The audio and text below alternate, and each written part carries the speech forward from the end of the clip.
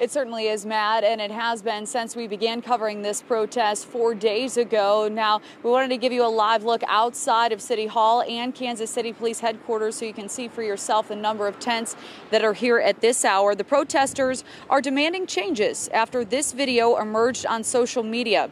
It shows a pregnant 25 year old Deja Stallings being arrested Wednesday night as a Kansas City police officer appears to put his knee on her back. Now, police say they arrested Stallings for physically interfering with an arrest.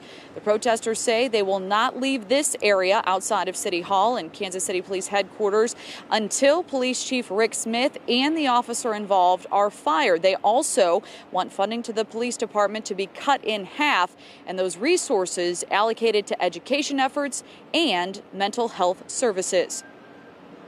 Our youngest victim of police brutality hasn't even been born yet. How are people not disgusted? I do not believe that uh, we can defund the police by 50% in Kansas City.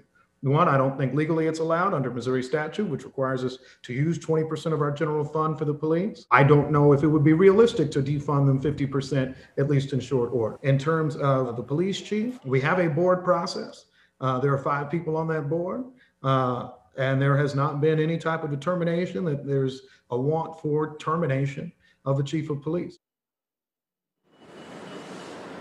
Now, the mayor went on to say that city leaders, including himself, can do better and they should. These protesters tell me they will stay here indefinitely until their demands are met. Reporting live in Kansas City, Kelly Gibbs, KMBC 9 News.